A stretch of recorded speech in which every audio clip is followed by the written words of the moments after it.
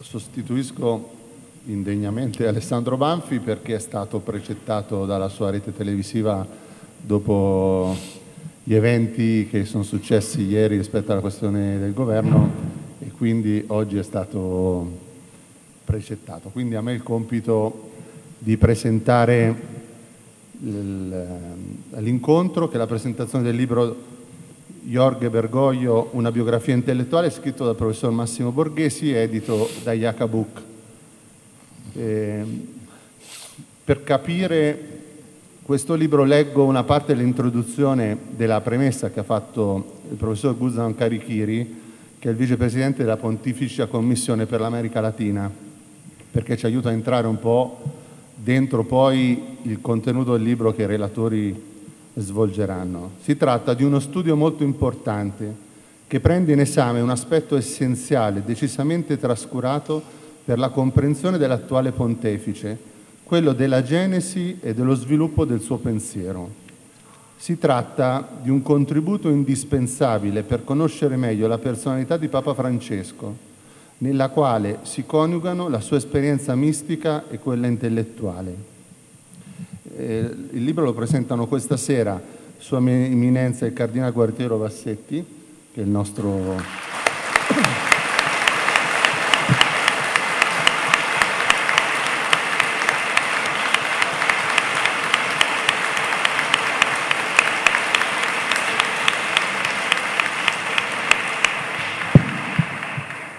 avrei preferito che l'applauso me l'avreste fatto dopo se me lo fossi meritato. Eh.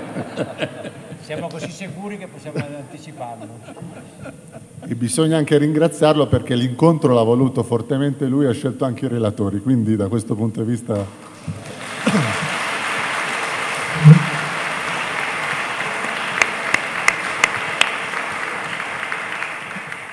Don Julian Carron, che è il presidente della Fraternità di Comunione e Liberazione, che è succeduto a Don Giussani.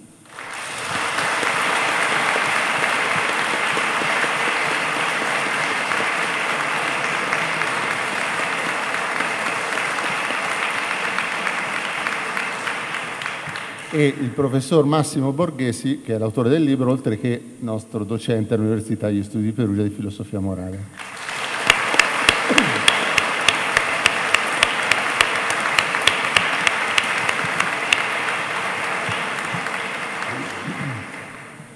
Io che mi sono cimentato nella lettura del libro del Massimo, di Massimo volevo sottolineare alcune questioni che mi avevano colpito prima di entrare dentro, la, proprio dentro diciamo, l'approfondimento di questo testo. Il primo, cosa colpisce, è che questo aiuta a capire il magistero di questo Papa. Sono stati scritti molti libri su questo Papa, nessuno ha affrontato un po' la costruzione del, sia della sua storia che del suo pensiero.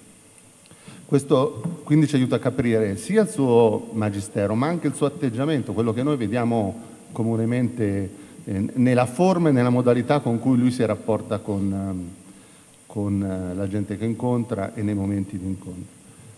E ci aiuta a conoscere quali sono stati i suoi maestri, gli autori da lui preferiti, i fatti della sua vita. Quindi in un certo senso ciò che ha ispirato anche il suo pensiero e anche la sua modalità di interagire con la gente. Eh, il libro contiene anche eh, quattro interviste che sono state rilasciate dal pontefice su domande fatte dal professor Borghesi in file audio, quindi in un certo senso il professor Borghesi poi magari lo racconterà, ha approfondito anche direttamente col Papa alcune questioni del, del suo pensiero. A noi ci aiuta per immedesimarci su questo su, su, su, appunto, sul, su questo Papa, che tra l'altro nel, nell'immediatezza della, del suo pontificato ha colpito, ha, come si dice, bucato un po' l'in, tutta l'informazione e ha colpito la nostra, credenti e non credenti, suscitando anche eh, controversi pareri. Ma da questo punto di vista questo libro ci aiuta a ridurre un po' gli slogan con cui viene definito il Papa, invece entrare con più profondità dentro quello che è invece il suo pensiero.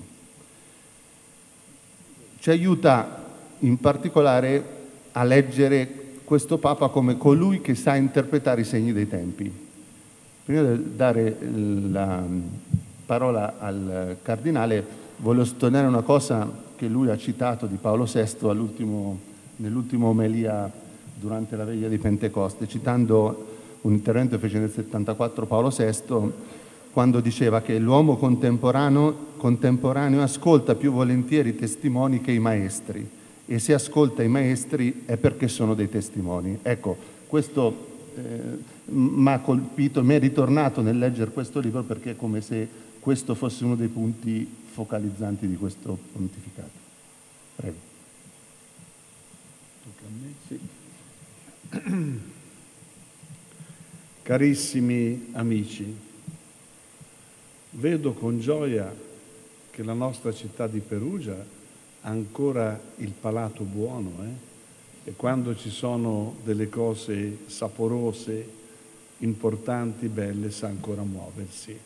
Questa stanza stasera, questa bellissima aula è strapiena e ne sono veramente felici. Avete un buon gusto, grazie. Sono veramente felice di partecipare alla presentazione di questo libro che ha un autore importante, il professor Massimo Borghesi, anche perché è un mio diocesano di San Sepolcro. A furia di fare come vescovo il giro della Toscana, ne ho trovati degli amici e eh? vedo che qui poi ci sono anche altri presenti di San Sepolcro.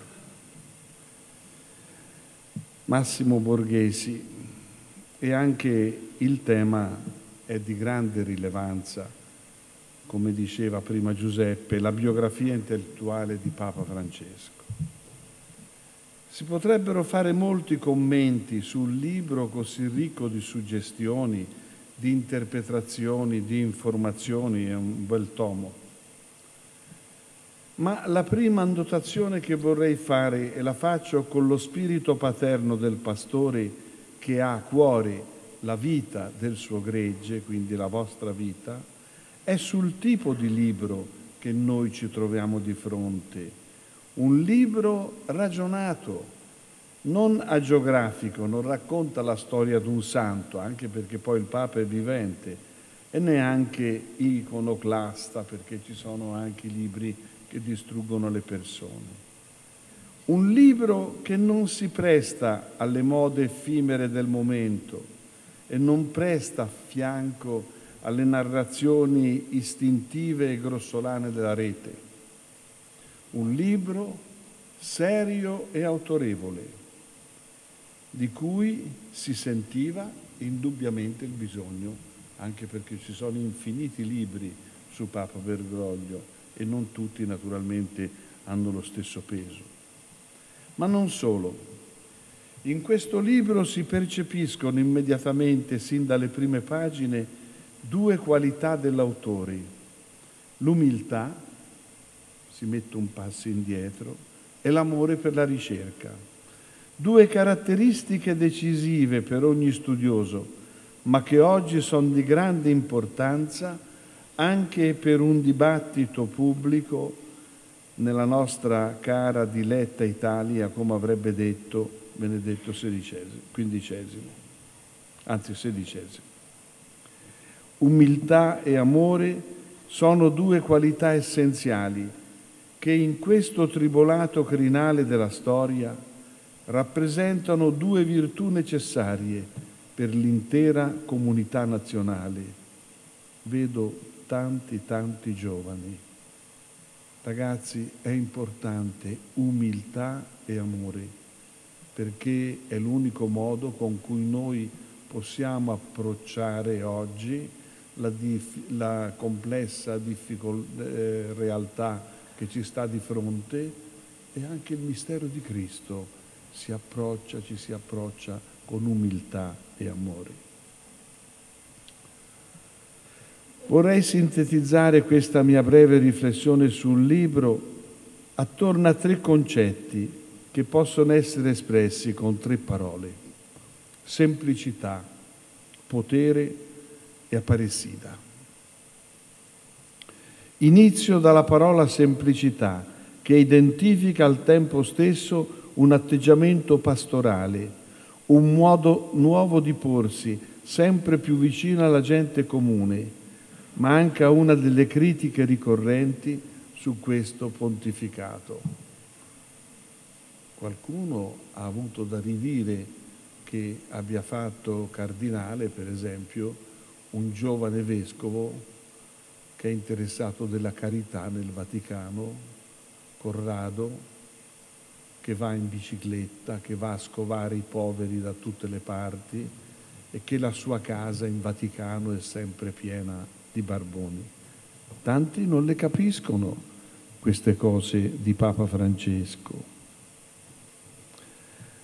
Francesco, sostengono alcuni critici, è un Papa che parla in modo troppo semplice, e dietro questa semplicità si maschererebbe una scarsa preparazione teologica del pontefice. In questo modo, denunciando la semplicità di Francesco, si evidenzierebbe da un lato la distanza culturale con Benedetto XVI e dall'altra si metterebbe in risalto il suo carattere sudamericano, che visto in quest'ottica sarebbe come sinonimo di impreparazione culturale, di inferiorità intellettuale rispetto alla nostra cultura europea. Dico queste cose perché sono state scritte e il professore le conosce bene queste critiche. Massimo Borghesi sviluppa però un'opinione completamente diversa rispetto a queste critiche e io che conosco abbastanza bene il Papa, adesso poi da quando sono presidente della CEI lo vedo anche più di frequente, mi rendo conto della sua profondità, certamente anche del suo umorismo, eh, perché poi è un uomo pieno di umorismo.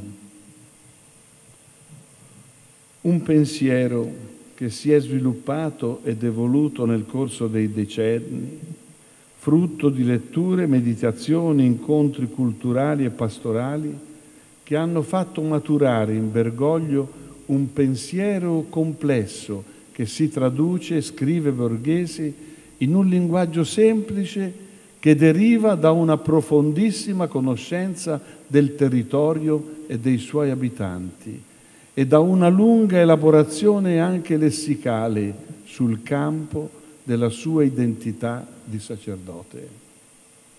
Il linguaggio, arrivare alla semplicità e profondità di Papa Bergoglio bisogna essere anche degli intellettuali sopraffini. Insomma, per dirla efficacemente con le parole chiare di Borghesi, il linguaggio di Bergoglio è semplice perché lui vuole essere semplice. Questo è il punto di partenza di tutta la riflessione del velume. La semplicità del Papa è la semplicità del pastore che vive immerso in una moderna megalopoli, tutto l'opposto dell'immagine del curato di campagna che a volte alcuni critici gli hanno cucito addosso. È la semplicità di un Vangelo espresso sine glossa, direbbe San Francesco, e in modo cherigmatico. È la semplicità, infine, frutto di una riflessione profonda e originale che però per essere compresa fino in fondo, per essere diffusa tra il popolo di Dio, deve essere comunicata in modo intelligente e adatta ai tempi. Allora, solo a questo punto dobbiamo chiederci quali sono state le tappe decisive di questa biografia intellettuali, quali sono le linee guida ai maestri di Bergoglio, a questi interrogativi Borghesi dedica tutto il libro, ricostruendo storicamente le principali fasi di questa maturazione personale e alla conclusione del volume si può tracciare una mappa concettuale del pensiero di Bergoglio che non solo è estremamente interessante, ma che a mio avviso è forse quasi del tutto sconosciuta. Il quadro d'insieme che scaturisce è una fitta trama di personaggi, alcuni dei quali sconosciuti a noi europei. Se indubbiamente il pensiero ignaziano e quello di padre Pietro Favre sono dei capisaldi indiscussi della formazione gesuitica che ha avuto sin dalla giovinezza, ci sono altri due intellettuali gesuiti menzionati da Borghesi estremamente importanti. Mi riferisco a Michel Desserteau e a Gaston Fessard. E infine accanto a questi, fa- a questi faccio altri due nomi decisivi, l'uruguaiano Alberto Etol Ferré, uno dei più importanti intellettuali cattolici dell'America del Sud, e la filosofa argentina Amelia Podetti, da cui il Papa dice di aver preso le intuizioni delle periferie. È quanto parla il Papa delle periferie.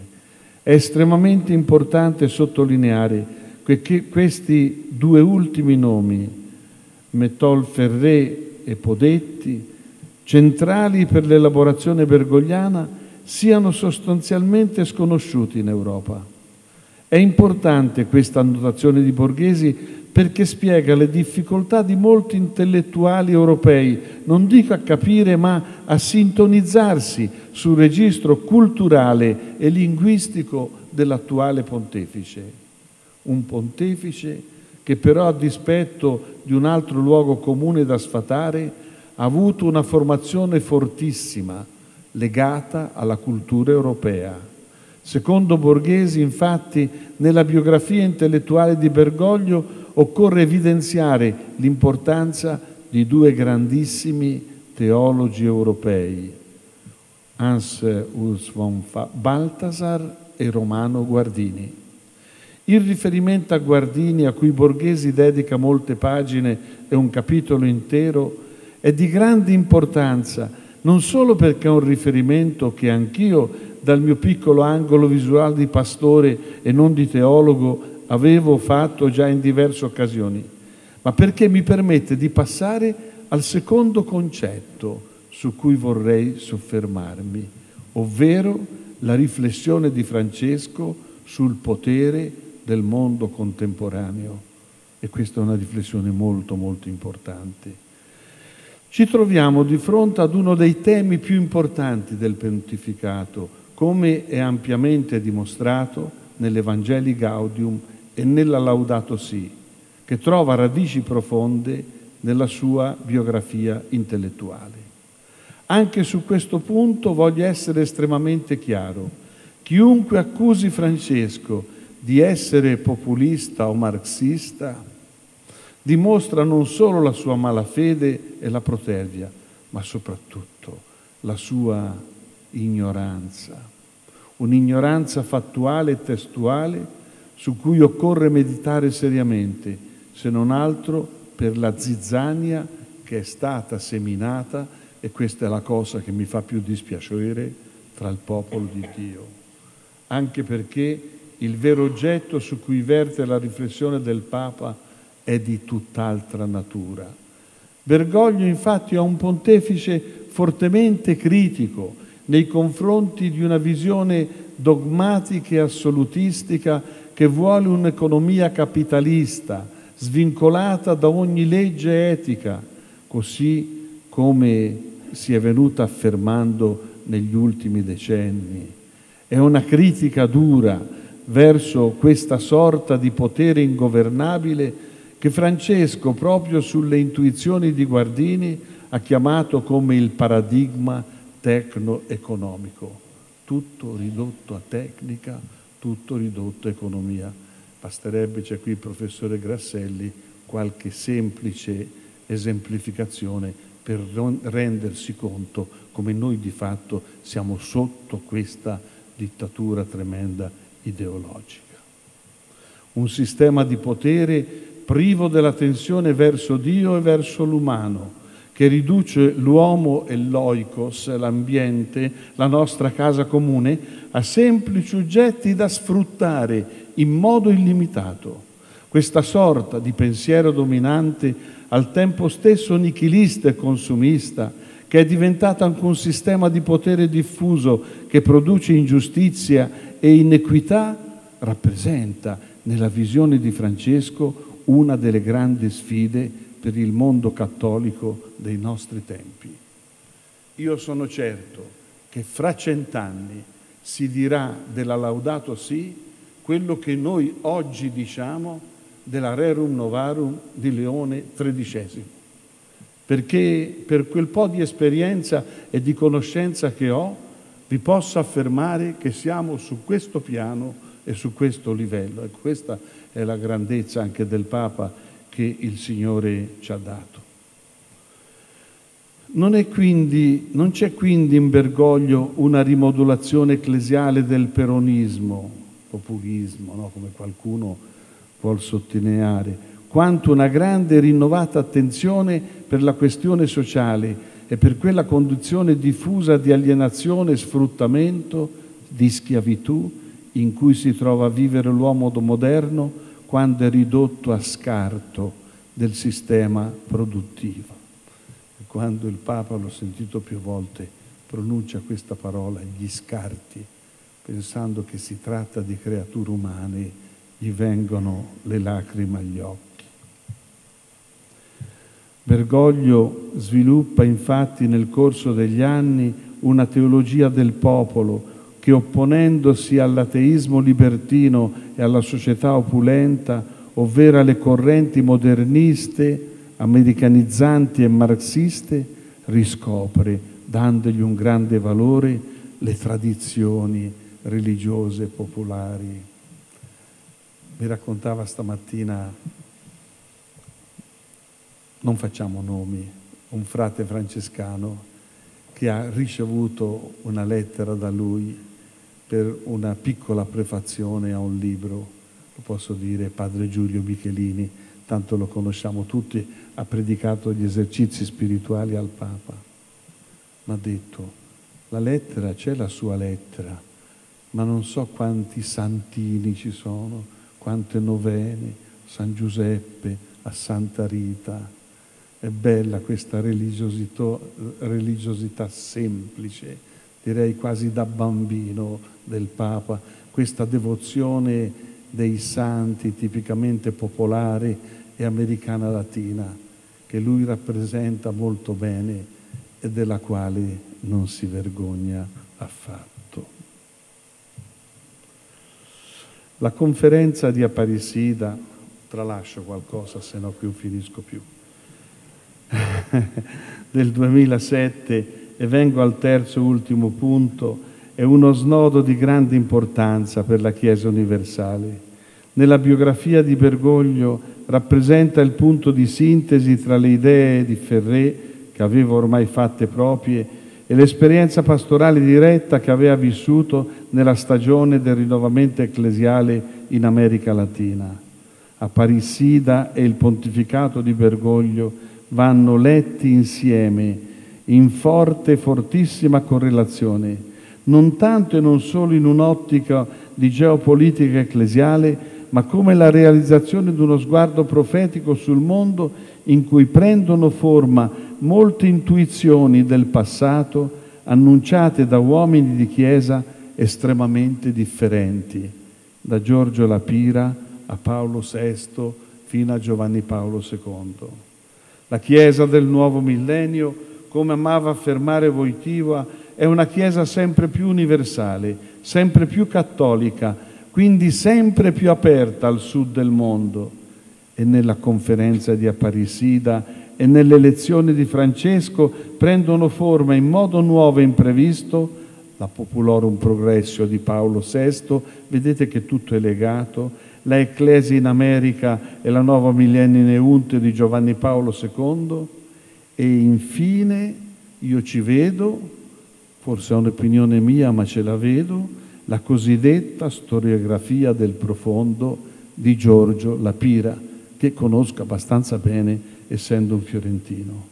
Mi spiego meglio facendo tre brevi considerazioni.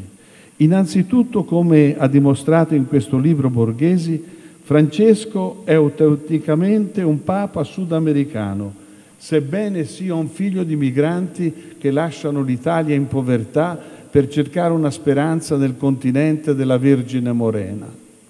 Bergoglio è profondamente caratterizzato da una formazione prettamente sudamericana, che però, come abbiamo visto, è anche europea, respira la vivacità e la tradizione del vecchio continente, la gravità e l'eredità storica.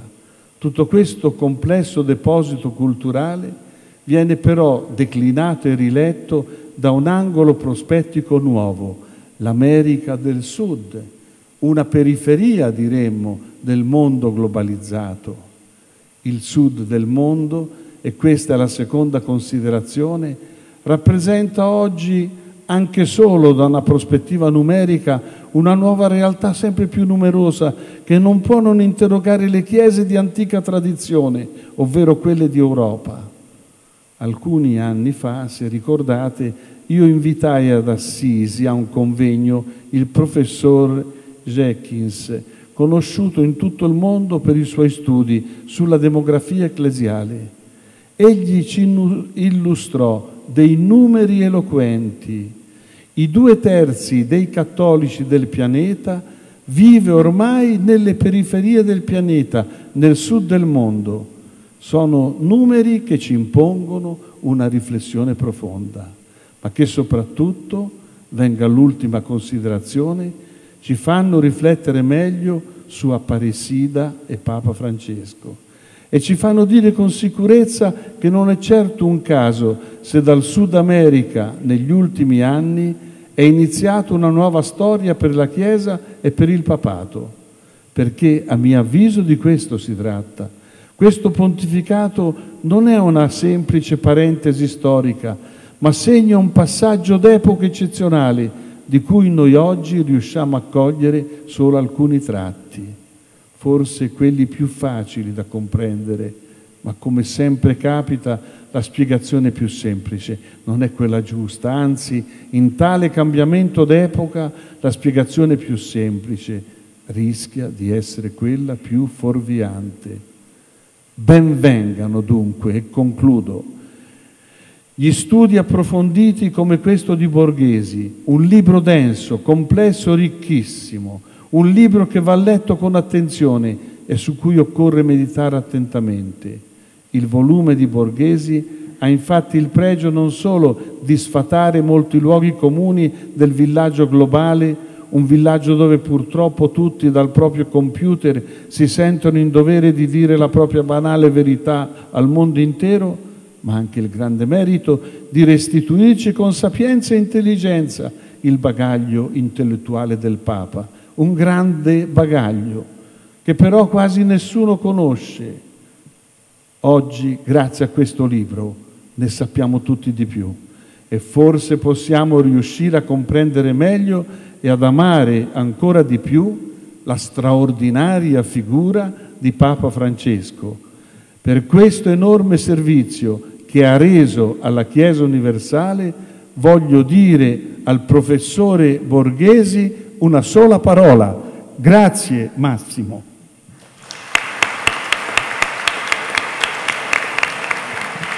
Sua Eminenza ci ha aiutato a capire quanto sia complessa la semplicità di Papa Francesco, ma anche un'altra cosa ha sottolineato, come quest'area nuova che arriva da un continente diverso dal nostro vecchio Occidente ci, ci, ci costringe ad accogliere un imprevisto a cui non eravamo preparati. E spesso le, i misteri del Padre Eterno passano attraverso gli imprevisti che ci mette dentro la vita. Do la parola a Carron chiedendogli come si può accogliere questo imprevisto dentro la nostra contemporaneità.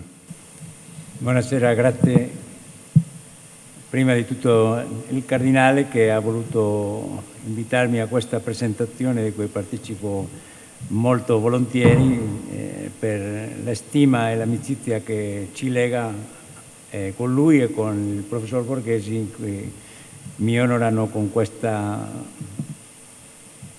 con questo invito. Il Cardinale ha finito ringraziando, io comincio. Dobbiamo ringraziare il professor Borghesi come lui ci eh, racconta nel libro, di aver lasciato da parte per qualche tempo la sua ricerca filosofica, così che noi potessimo godere eh, del frutto del suo prezioso lavoro. Il suo è un contributo, come abbiamo sentito, unico per andare alle radici del pensiero di Papa Francesco. Conoscere i suoi maestri, gli incontri che hanno segnato il suo percorso, la sua traiettoria intellettuale.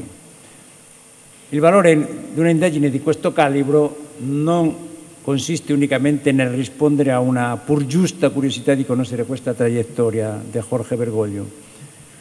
Essa ha un valore unico perché ci aiuta a capire più profondamente, e questo può essere l'interesse che ha per noi, che forse non eh, siamo eh, forse che, che curiosi di, di, capire tutte le come la profondità di, di certi passaggi che, del libro del Massimo, ma che comunque ci possono aiutare a cogliere alcune delle cose che siamo abituati a vedere nel modo di muoversi del Papa, perché non riguarda dunque solo al passato, di una curiosità per la traiettoria che lui ha percorso, ma soprattutto il presente e il futuro, perché permette di capire la densità di, quello, di quella semplicità di cui parlava il cardinale eh, di quello che ciascuno di noi sperimenta ogni giorno nel proprio rapporto col Papa.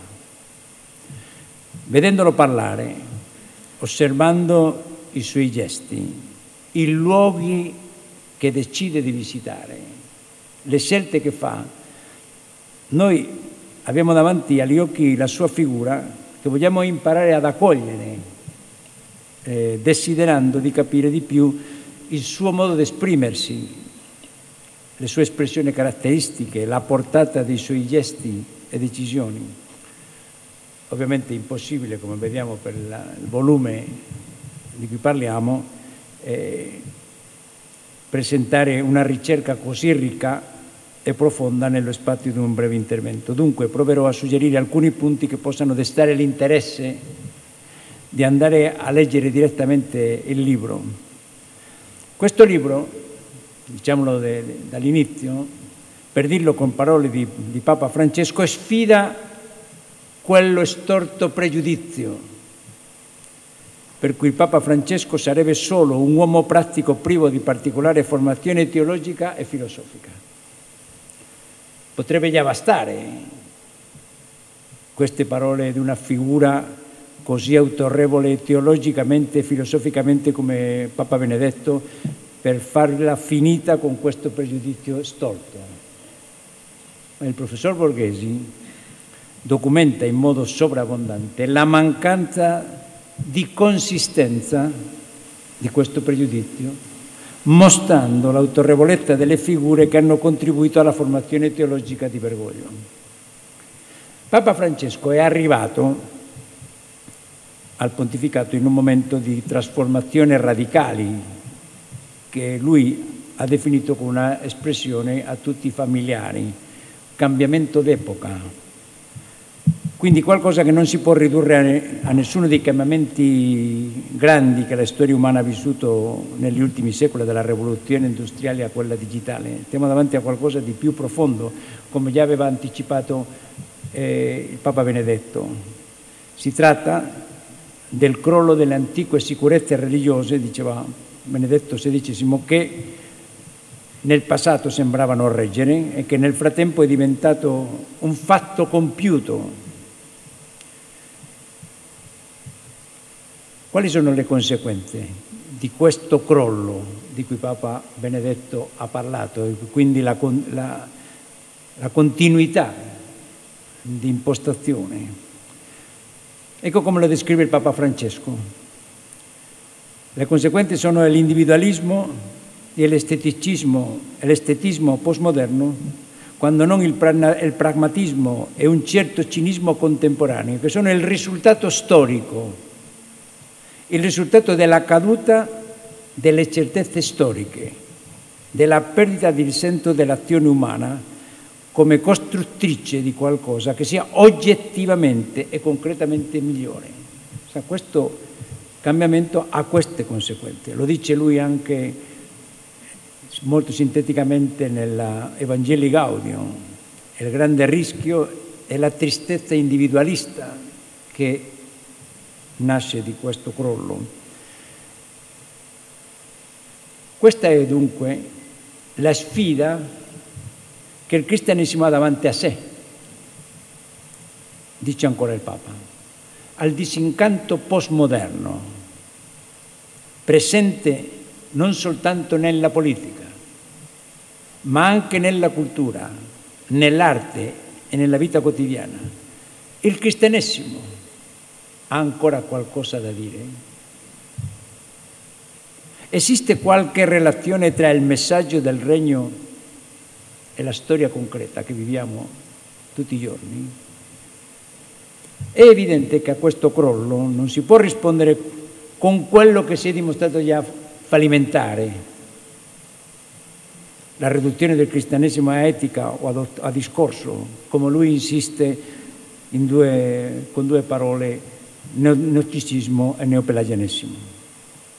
Allora, che bagaglio culturale ha ricevuto il Papa nella sua formazione per affrontare queste sfide, perché così possiamo capire la portata della sua traiettoria intellettuale.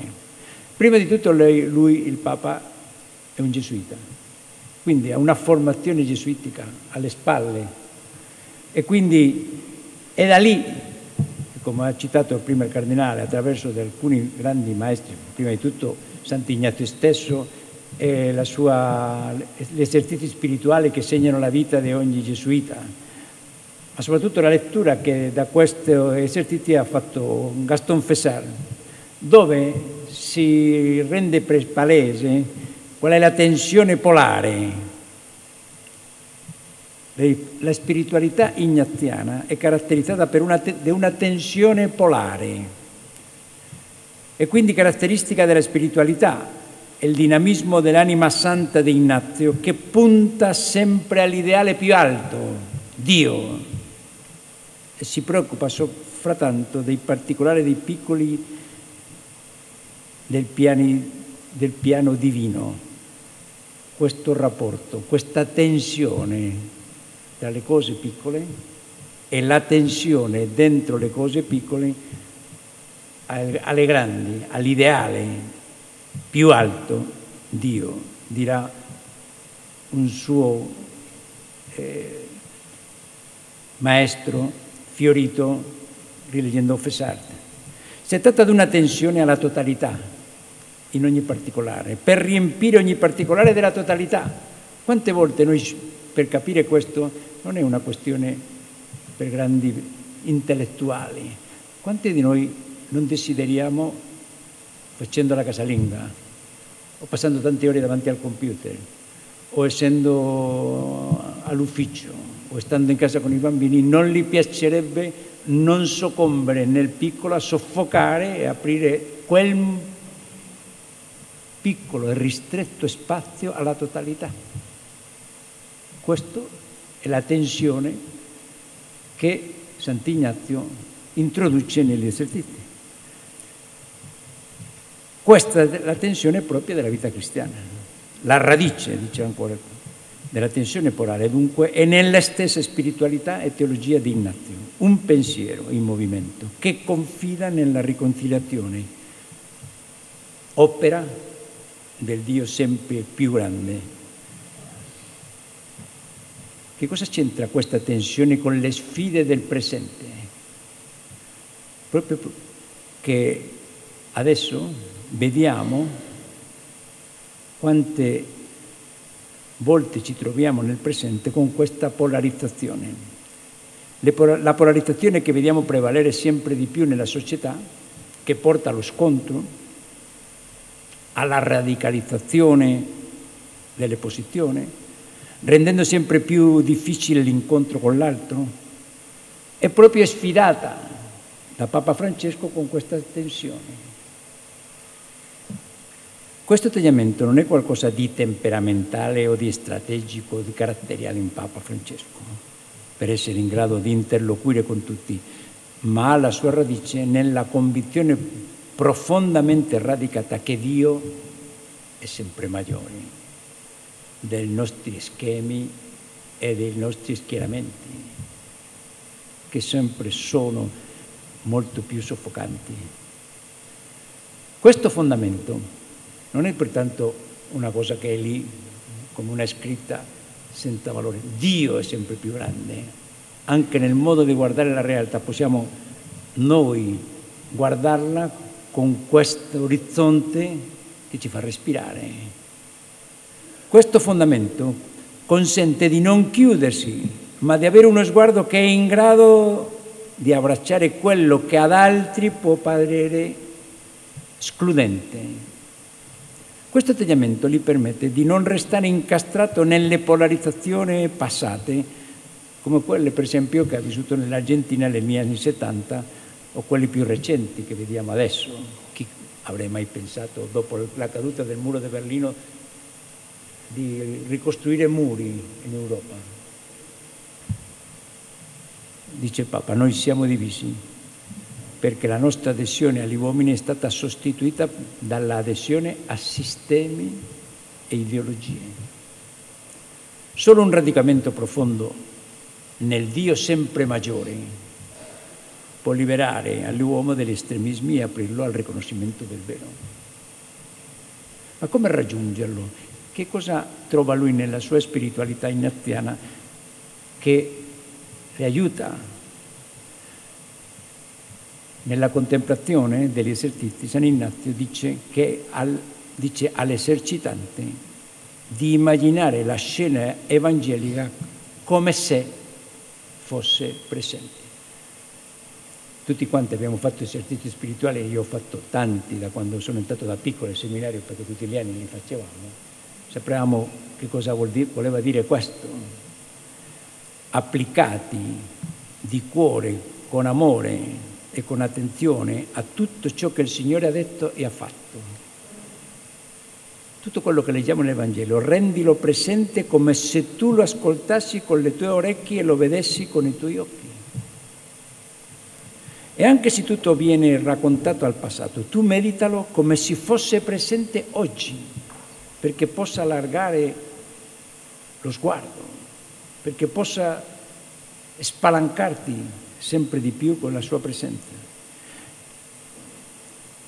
Con gli occhi, dice von Balthasar, dell'immaginazione si guardino le persone, si percepisca con l'udito cosa dicono e cosa possono dire, si odori, si assaggi con l'olfatto, con il gusto, con la dolcezza, si tocchi con il tatto.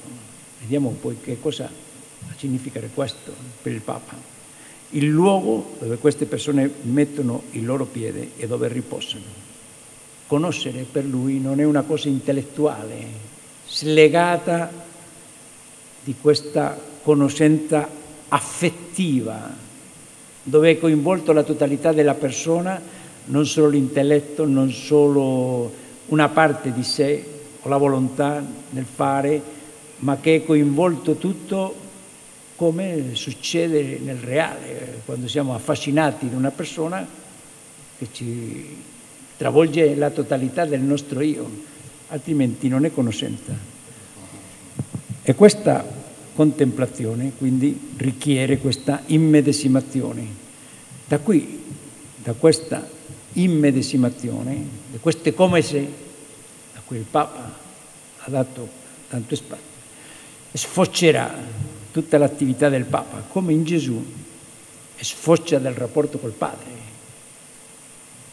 Gesù riprese a parlare e disse loro, in verità, in verità io vi dico, il figlio da se stesso non può fare nulla se non ciò che vede fare al Padre. Quello che gli fa, anche il figlio lo fa allo stesso modo.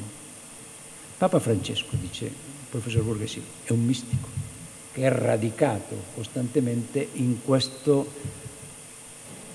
immergersi, non soltanto pensare, immergersi con tutto se stesso in quello che il Vangelo racconta.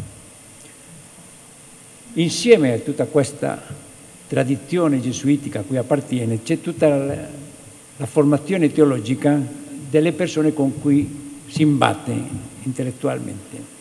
La portata dell'influsso di certe figure su Bergoglio la possiamo cogliere molto meglio oggi che forse in altri momenti dove forse questi contrasti che vediamo adesso non sono così palesi. Tutti vediamo il contrasto, le polarizzazioni, la contrapposizione amico-nemico, se sei contro, con me non sei contro di me, l'antitesi ponti e muri, la globalizzazione e gli scarti. Possiamo fare una infinità di queste contrapposizioni. Se vivo io devo essere a costa di eliminare te. In questo contesto possiamo capire l'importanza di quello che Bergoglio imparò dai suoi maestri sulla polarità, sulle polarità. Eric Prisguara, un, uno di questi, diceva ciò che di cui abbiamo bisogno è una filosofia della polarità, di una tensione mai sciolta tra due poli. La stessa impostazione poi la riscopre e la approfondizza Bergoglio in Romano Guardini. Lui parlava di una opposizione polare, dice il Papa, in cui i due opposti non si annullano. Non è che per sopravvivere dobbiamo eliminare l'altro, non si annullano. Non avviene neanche che un polo distrugga l'altro, non c'è contraddizione in identità. Per lui l'opposizione si risolve in un piano superiore, che è Dio l'altro non appare come avversario o come opposto. Guardate cosa significa questo oggi, dove la contrapposizione è talmente forte. La teoria degli opposti è la teoria del confronto, che non avviene come lotta contro un nemico, ma come sintesi di una tensione feconda, cioè come costruzione dell'unità. Tanti degli autori che ha approfondito hanno questa impostazione, Meller, Guardini, Pisguara, Delivac. Il modello dunque che lui propone non è la sfera dove tutti i, i particolari sono eliminati per affermare l'unità, ma il poliedro in cui la unità della figura mantiene l'originalità delle singole parzialità. Possiamo poi rintracciare la portata di queste lezioni nel quattro principi cardine che lui riporta nell'Evangeli Gaudio, che sono qui a portata di mano. L'opposizione polare non ha come scopo sopprimere qualcosa, ma sottolineare la tensione, mettere in evidenza il rapporto interno tra i due poli che sembrano in conflitto senza sopprimere la tensione ideale. Pensiamo per esempio il tempo è superiore allo spazio, è uno di questi principi. Che cosa significa che uno cominci a rendersi conto che dare priorità al tempo significa occuparsi di iniziare processi più che di possedere spazi. Noi pensiamo che noi ce la caviamo di più occupando gli spazi del potere o imponendo una, una certa posizione. Invece, come, come fa Gesù, come fa San Paolo, aprire processi che avranno molto tempo perché possano sviluppare e cambiare rispettando il ritmo e la libertà delle persone. Che cosa significherebbe questo per una società così eh, in contrapposizione come la nostra? in tutti gli ambiti del vivere, sempre più conflittiva, o che la unità prevale sul conflitto, è più grande perché è più grande, e accettare di sopportare il conflitto, di risolverlo non eliminando l'altro, ma percependo l'altro come qualcosa che collabora, che collabora a capire di più quello che lo risolve. E allora l'altro è un bene, non qualcosa da eliminare o che la realtà è superiore all'idea, questo criterio legato all'incarnazione, in questa modalità Dio è diventato carne perché così raggiung- potesse raggiungere meglio, come vedremo dopo, il centro dell'io e poterci portare, perché il tutto è superiore alla parte. Solo accennare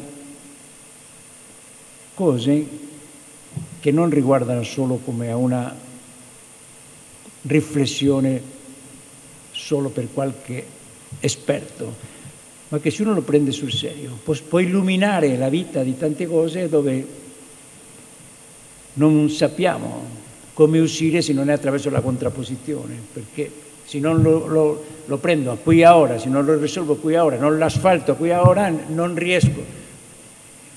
Invece introdurre un, un processo, aprire un processo che nel tempo possa verificare sempre più adeguato, pensare all'educazione, pensare ai figli, pensare al rapporto con la moglie, ai rapporti con i, con i colleghi, in ogni ambito. Che cosa potrebbe diventare la vita invece che solo la contrapposizione. C'è un altro capitolo che ci aveva citato prima il cardinale del dialogo con Metol Ferrer, questo grande pensatore della Latina America, cui, con cui Bergoglio approfondisce la sfida della modernità nella Chiesa come soggetto storico e passando a rivista i tentativi fallimentari emerge come la unica realtà, la Chiesa, come l'unica realtà storica in grado di poter rispondere al desiderio di liberazione che non può essere altro che il cristianesimo vissuto, come vedremo dopo. A partire dalla seconda metà degli anni 90, scrive il professor Borghesi, è possibile notare in Bergoglio una accentuazione di fattori estetici, il vedere, il toccare che erano già presenti, lo sguardo, Sappiamo dello stesso Bergoglio dell'influsso che ha avuto una figura teologica di così da tanto rilievo come quella di von Balthasar. Soprattutto il suo capitolo dedicato a Sant'Ireneo de Lione, padre della Chiesa. Nello stesso periodo Bergoglio riconosce che la lettura degli scritti di Monsignor Luigi Giussani ha fatto bene alla sua vita, lo ha detto in tante occasioni. Lo documentano la presentazione dei diversi libri di Don Giussani, concetti come cuore, realtà come segno, esperienza, incontro, attrattiva, misericordia, morale come risposta diventano sempre più familiari all'allora arcivescovo di Buenos Aires. Nella presentare il libro, dice in una delle presentazioni di Monsignor Giussani, il senso religioso non compie un gesto di protocollo formale, né un gesto di curiosità scientifica, ma un doveroso atto di gratitudine. Da molti anni gli scritti di Monsignor Giussani hanno ispirato la mia riflessione, dirà nel 1998. Nel 2000, presentando l'attrattiva Gesù, dice ho accettato di presentare questo libro per il bene che negli ultimi dieci anni questo uomo ha fatto a me, alla mia vita di sacerdote, attraverso i suoi libri e i suoi articoli Ecco alcune riflessioni di Giussani a partire dai testi di Giussani. Giudizi, che è divenuto Papa, ripeterà ancora in Piazza San Pietro il 7 marzo 2015. Tutto nella nostra vita, oggi come al Tempio di Gesù, incomincia con un incontro. Un incontro con questo uomo, il falegname di Nazareth. Un uomo come tutti, allo stesso tempo diverso. I primi, Giovanni e Andrea, Simone, si scoprirono guardati fin nel profondo, letti nel loro intimo e in essi si è generata una sorpresa, uno stupore che immediatamente li faceva sentire legati a lui e li faceva sentire diversi. Non si può, dice il Papa, capire questa dinamica dell'incontro che suscita lo stupore e l'adesione su di essa se non è fatto scattare perdonatemi la parola, il grilletto della misericordia. Solo chi ha incontrato la misericordia, chi è stato accarezzato della tenerezza della misericordia, si trova bene con il Signore. Quante volte ce l'abbiamo ripet- visto ripetere di recente, nell'anno della misericordia. E rincara ancora la dose. Stiamo parlando dell'anno 2000, il luogo privilegiato dell'incontro è la carezza della misericordia di Gesù Cristo verso il mio peccato. Di fronte a questo abbraccio di misericordia, continuo secondo le linee del pensiero di Giussani, dice il Papa, viene proprio voglia di rispondere, di cambiare, di corrispondere, sorge una moralità nuova. Ci poniamo il problema etico, un'etica che nasce dall'incontro, da questo incontro che abbiamo descritto fino, al, fino ad ora. La morale cristiana, quindi, non è un sforzo titanico, volontaristico, lo sforzo di chi decide di essere coerente ci riesce, una sfida solitaria di fronte al mondo. No, la morale cristiana è semplicemente risposta. È la risposta commossa davanti a una misericordia sorprendente, imprevedibile, ingiusta, scrive. Per questo la concezione cristiana della morale è una rivoluzione. Non è un non cadere mai, ma alzarsi sempre. Niente a che vedere con i chietismi spiritualoidi e neppure con il pelagianesimo. Ma ancora nella prefazione scritta da Papa Francesco per il libro Il tempo della Chiesa, secondo San Agostino, di Don Giacomo Tantardini, leggiamo quella descrizione bellissima che ha fatto di un incontro evangelico come quello di Zaccheo.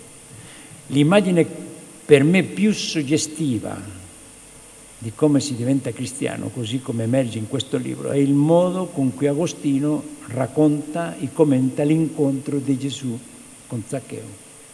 Zaccheo è piccolo e vuole vedere il Signore che passa e allora si arrampica sul sicomoro e racconta Agostino. E il Signore guardò proprio Zaccheo. Zaccheo fu guardato e allora vide colpisce questo triplice vedere, quello di Zaccheo, quello di Gesù e poi ancora quello di Zaccheo dopo essere stato guardato dal Signore. Lo avrebbe visto passare anche se Gesù non avesse alzato gli occhi, commentato in Giacomo, ma non sarebbe stato un incontro. Avrebbe magari soddisfatto quel minimo di curiosità buona per cui era salito sull'albero, ma non sarebbe stato un incontro. Qui sta il punto. Alcuni credono che la fede e la salvezza vengono col nostro sforzo di guardare, di cercare il Signore, invece è il contrario. Tu sei salvo quando il Signore ti cerca, quando Lui ti guarda e tu ti lasci guardare e cercare.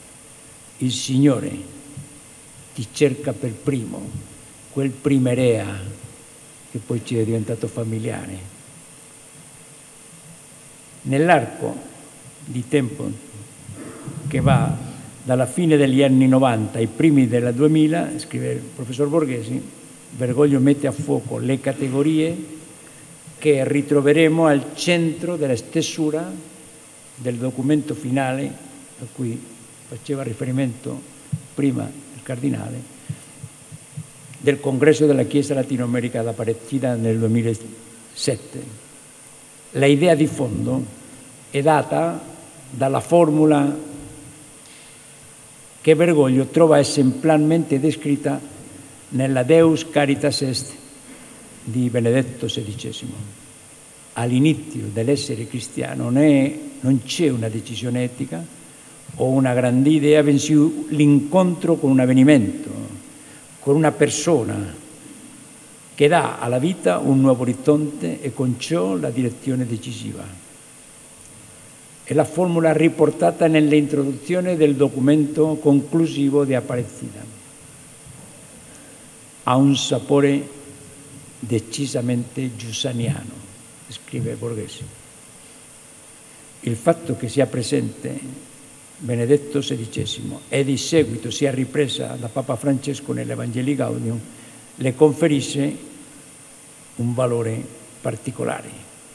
Essa indica il punto di partenza della fede, ieri come oggi, e insieme un giudizio storico sulla deriva eticista che caratterizza il cattolicesimo nell'era della globalizzazione.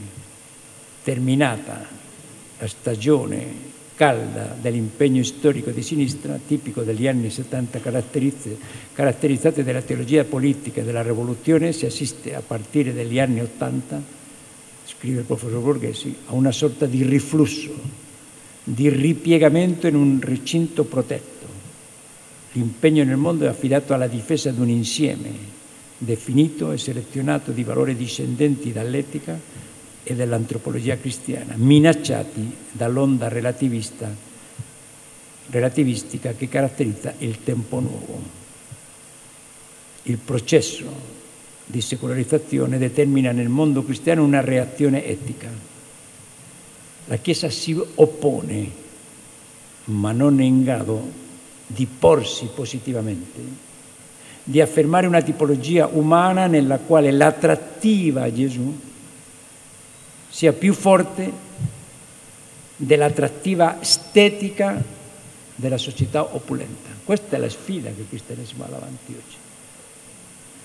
La deriva etica della Chiesa indica una strategia di resistenza, non un'era di rinascita.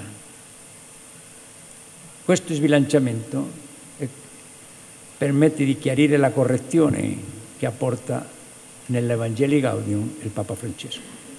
Si tratta di rimettere in evidenza ciò che primerea, cioè la grazia di un annuncio, quello che attira, quello che affascina e che muove la totalità dell'io. Occorre ritornare all'essenziale. Quante volte lo ha ripetuto Papa Francesco in questi anni? Una pastorale missionaria non è ossessionata dalla trasmissione disarticolata di una moltitudine di dottrine da imporre con insistenza. L'annuncio si concentra sull'essenziale, sul necessario, che è ciò che appassiona e attira di più, ciò che fa ardere il cuore, come i discepoli di Emmaus. Tutto questo processo finirà per determinare i lavori di quel evento ecclesiale che è il congresso di Aparecida. Tutti quelli che erano presenti al lavoro del congresso sono consapevoli, dice allora Apparecida, che le nostre tradizioni, anche loro appartenevano alla tradizione cattolica, tutte le tradizioni culturali non si trasmettono più da una generazione all'altra con la fluidità del passato. Perciò sentono l'urgenza di ritrovare e rivitalizzare la novità del Vangelo, radicata nella nostra storia a partire di un incontro personale. Non basta il tran tran perché si trasmettono, Occorre un incontro personale e comunitario con Gesù Cristo che suscita discepoli missionari. E queste sono le pagine che sono la chiave di quel documento. Basta leggere questo. Tutto il processo che ha dovuto passare la, la Chiesa latinoamericana è stata l'occasione per approfondire la natura del cristianesimo. La natura stessa del cristianesimo consiste, dice Aparecida, nel riconoscere la presenza di Gesù Cristo e seguirlo. Questa fu la bella esperienza di quei primi discepoli che incontrando Gesù rimasero affascinati e pieni di stupore davanti alla figura straordinaria di chi parlava loro di fronte al modo in cui li trattava, dando così risposte alla fame e a sete di vita dei loro cuori. L'Evangelista Giovanni continua, ci ha raccontato con forza icastica l'impatto che la persona di Cristo produsse nei due primi, Giovanni e Andrea, che lo incontrarono. Tutto comincia con la domanda, che cercate? Alla quale fece seguito l'invito a vivere un'esperienza. Venite e vedete. Questa narrazione, finisce questo pezzo di Aparecida, rimarrà nella storia come sintesi unica del metodo cristiano. Questo è quello che il Papa farà. Allora, che cosa, su che cosa insiste Aparecida? Occorre che questa presenza diventi carnale di nuovo storicamente attraverso testimoni. Papa Francesco è proprio il testimone che Dio ci ha mandato di questo metodo cristiano. Perché? Perché attraverso i gesti e le parole, semplici, a portata di mano di tutti come erano i gesti e le parole di Gesù, possono raggiungere chiunque di noi e per questo è in grado di intercettare le ferite del nostro tempo. Mentre che noi, per questo ci sfida tutti noi europei, come ha detto il cardinale Scola, siamo abituati, noi europei, a, a, per il fatto di essere eredi di visioni intellettualistiche e dottrinalistiche, a sentire come che le manca di, di profondità, ma è soltanto perché siamo abituati a un certo argomentatario, ma non perché questo non è sfida, perché questo invece è quello che sfida di più la ragione e il cuore delle persone che incontra. Perché? Perché noi, come aveva descritto il grande teologo von Balthasar, e tutti possiamo capirlo adesso molto meglio, in un mondo, dice von Balthasar, senza bellezza, cioè senza qualcosa che attiri la totalità dell'io, anche il bene ha perduto la sua forza di attrazione l'evidenza del suo dover essere adempiuto. E l'uomo, lo vediamo nei tosti contemporanei, nei figli, l'uomo resta perplesso di fronte ad esso. Gli argomenti in favore della verità hanno esaurito la loro forza di conclusione logica, non muovono. Il processo che porta alla conclusione è un meccanismo che non inchioda più nessuno. E la stessa conclusione non conclude più. Questo lascia indifferente. Questo è quello che il Papa, con i suoi gesti, cerca di comunicare a tutti. Per questo chi non lo capisce, perché non si rende conto che tanti delle parole non inchiodano più. La gente pensa che ripetendo certe formule in fondo potesse raggiungere, no, non inchiodano più. Per questo ricordo una frase di Giussani che diceva come l'uomo di Gesù di Nazareth non le potevano vedere un gesto senza che la sua forma dimostrasse tutto questo fascino del, perché aveva dentro la coscienza del Padre.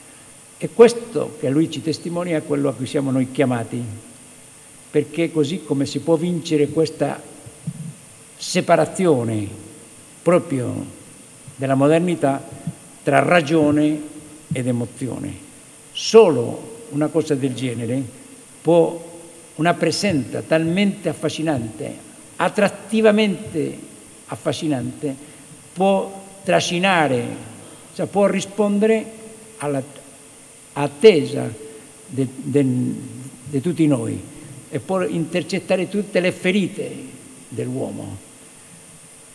Siamo arrivati di questa immersione nel come sì di Sant'Ignazio, a questa carnalizzazione, a questa incarnazione del Vangelo nel presente e nel testimone che può veramente trascinare. Finisco semplicemente con una aneddota personale. Io eh, ero stato educato anche al come sì e ho capito la differenza a cui adesso il Papa insiste, quando incontrando testimoni eh, sono stato anche io trascinato. Mi ricordo in una serata agli esercizi spirituali che io questa immagine che ho citato di Aparecida, io mi sono andato a contemplare quella immagine come immersi nel come se per ore, fino alle due di notte ma quello non era in grado di affascinare come un testimone. Il passaggio che ha fatto il Papa, senza dover sminuire quella, quella cosa lì, ma non per, non per questo il mistero è diventato carne per mettere davanti un fascino che potesse veramente attrarre il cuore. Per questo la sfida che abbiamo davanti noi è poter mettere davanti a tutti questo quello che lui con questo toccare, guardare, interloquire con le persone perché possano attraverso di loro, attraverso dei suoi gesti, toccare la carne di Cristo oggi. Grazie.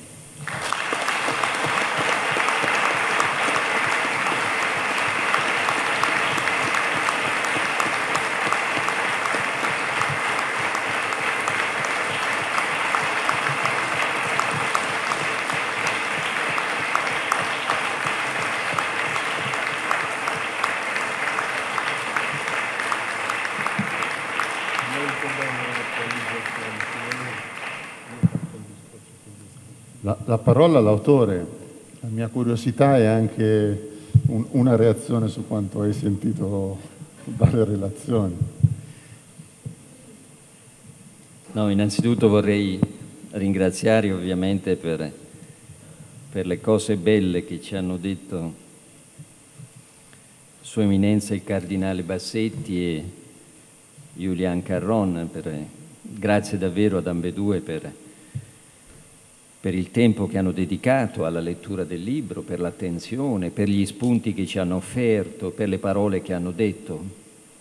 Grazie anche a Beppe che si è prestato a sostituire il nostro Alessandro Banfi che non è qui con noi e grazie vorrei dire anche alle associazioni, alla Beata Colomba, alla Diocesi e all'associazione al Centro Culturale Maestà delle Volte che hanno sostenuto e poi un grazie particolare a tutti voi che siete qui. E, insomma, è un bel gesto questa compagnia che ci fate nella presentazione di questo volume. Io ho deciso di scrivere questo libro quando il livello degli attacchi contro Papa Francesco aveva raggiunto un livello eh, parossistico e cioè intorno al maggio-giugno del 2016. Come sappiamo gli attacchi non sono finiti, anche se forse mi illudo, ma mi sembrano meno virulenti rispetto a qualche mese passato. Però intorno al maggio-giugno era proprio, eh, bastava aprire i blog, eh, Facebook e tutto il resto, era una valanga quotidiana, questi siti eh, che iperattivi, dove sul Papa si diceva di tutto e di più, no? soprattutto dopo la pubblicazione della Moris Letizia sulla famiglia, il matrimonio, che viene pubblicata l'8 aprile del 2016. Poi i dubia, i famosi dubia dei cardinali, vescovi, non si era mai visto e non si è mai visto un attacco così a un pontefice. Lo so che anche Paolo VI, Giovanni Paolo II, Benedetto XVI, lo sappiamo, hanno avuto attacchi, hanno avuto momenti anche, no? Però io, per la mia esistenza, non ho mai visto degli attacchi a questo livello, a questo livello, gente che gente che è totalmente ignorante di teologia, di pensiero, di chiesa, di storia della chiesa, di diritto canonico, non sa nulla di nulla, che spara, spara, spara. È una forma di patologia ossessiva, pilotata da, evidentemente da dei gruppi, da dei siti, da dei poteri che non si limitano semplicemente all'Italia, vengono da fuori ad un pontefice che nell'arco di cinque anni ha letteralmente mutato lo sguardo mondiale sulla Chiesa. Perché tutti abbiamo la memoria corta, purtroppo nell'epoca di internet delle, del bombardamento continuo, le notizie vanno e vengono e durano un giorno, quelle del giorno prima già ce le siamo dimenticate, figuriamoci cinque anni fa. Cinque anni fa la Chiesa, quando Benedetto esausto in tutti i sensi, ha dato le dimissioni, con questo gesto assolutamente rivoluzionario, altro che papa tradizionalista, con questo gesto assolutamente rivoluzionario che, in cui un papa ha la forza, il coraggio, il suggerimento dello spirito di dare le dimissioni perché non ce la fa, semplicemente non ce la fa. E non ce la fa fisicamente e non ce le fa di fronte a una Chiesa che avrebbe richiesto energie, forze, vigore, perché i malanni certamente erano tanti. Ce lo siamo dimenticato che cinque o sei anni fa la Chiesa doveva essere portata davanti al Tribunale internazionale dell'ONU per le questioni della pedofilia dei preti, che la Chiesa rischiava di essere accusata come criminale sul piano che i, i, i genitori avevano paura di mandare addirittura i figli. In cinque anni, in quattro anni allora, in cinque anni oggi, il Papa ha totalmente cambiato l'immagine della Chiesa nel mondo. È bastato questo Papa per far cambiare mentalità, giudizio a milioni e milioni di persone. Già questo richiederebbe un movimento di gratitudine, se non altro. No? Ecco, quello che doveva essere un titolo di merito è diventato in realtà per questi gruppi, per questi social, un motivo di condanna. No? Perché il ragionamento è questo, se è così gradito al mondo, eh, allora vuol dire che si è venduto, vuol dire che ragiona come il mondo, vuol dire che è modernista, vuol dire che è progressista, vuol dire che, vuol dire che. E così, invece di dirgli grazie, no, continua l'ingiuria. C'è qualcosa di perverso in tutto questo, un livello di perversione che è dentro la Chiesa, non è fuori. Molti cattolici sono dentro un livello di perversione mentale, innanzitutto, una questione nel cuore evidentemente, ma è una questione anche di testa. Questi non sono più capaci di ragionare, non hanno più un pensiero cattolico, non esiste più un pensiero cattolico. Allora, con una miopia unica, perché Francesco in realtà è inviso per lo più ai poteri forti del mondo, se c'è un punto di resistenza oggi nella scena mondiale, a un processo di globalizzazione senza regole e senza morale è la figura di questo Papa. È l'ultima grande figura morale nel mondo. I politici avrebbero da imparare a piene mani da questo modello di essere dentro la storia e dentro la società, ma non lo fanno. È come se tutto il il cattolicesimo anticonciliare avesse trovato il suo capro espiatorio. Eh sì, perché negli ultimi anni è ritornato un cattolicesimo che sembrava sepolto dal Concilio Vaticano II. E invece è ritornato, è ritornato in auge, è ritornato anche a seguito della crisi della democrazia odierna, perché la democrazia degli anni 60 con cui dialogò il concilio era una democrazia carica di valori, che appassionava. La democrazia di oggi è una democrazia relativista, secolarizzata, che allontana. E allora anche i cattolici sono tentati di rifiutare il mondo, la società, di chiudersi nel ghetto, di non portare più il loro contributo per il bene comune, ma di fare semplicemente squadra nel senso di un mondo chiuso. Quest'odio non è una critica, è una patologia. Personalmente avevo conosciuto Bergoglio nel 2008 a Buenos Aires, ma era stato un incontro molto breve e forse anche poco significativo per me. Ma lo avevo rivisto poi a San Lorenzo al Verano, negli anni successivi a Roma, perché quando veniva da cardinale a Roma passava spesso per quella parrocchia dove io andavo il sabato sera alla messa perché era diventato amico un, del mio parroco, del mio prete che si chiamava Don Giacomo e, e quindi in tre, quattro, cinque occasioni, ricordo anche una cresima per i bambini, ricordo che mi colpì questo straordinario linguaggio con cui parlava ai bambini, di una bellezza e di una semplicità assoluta, riusciva a parlare ai bambini in maniera perfettamente comprensibile, senza essere banale. E poi ricordo altre sue prediche, con questo stile sobrio, evangelico, pieno di cuore, no? breve, senza annoiare nessuno. E poi ricordo i suoi articoli e le sue interviste sulla rivista internazionale 30 giorni dal 2002 in avanti, rivista che io leggevo e a cui collaboravo, quindi mi colpiva sempre questo.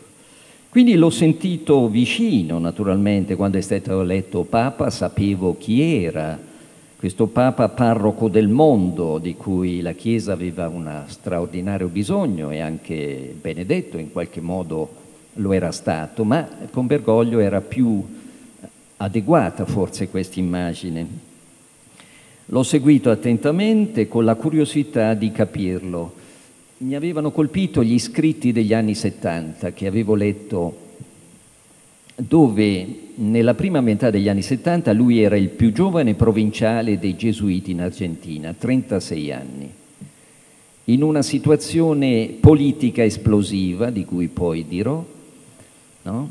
Bergoglio ha il compito di tenere unita la compagnia di Gesù, che è dilacerata al proprio interno ed è divisa tra l'ala di destra e quella di sinistra.